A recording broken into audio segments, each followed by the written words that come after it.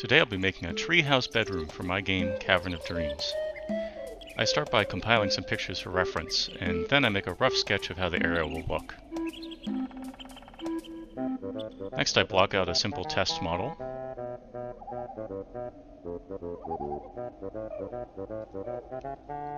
Then I bring that into the game and test it out. I want to make sure that it feels good to play and that nothing is broken. Oh, good job. Uh, next, I start making textures. Then I need to make sure that the textures are properly mapped onto the objects in the room.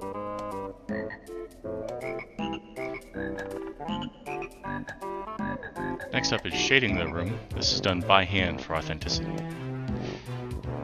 And then finally I add some extra details to make the whole room pop. And that's all it takes. If you like how Cavern Dreams looks, please wishlist it on Steam, and thank you for watching.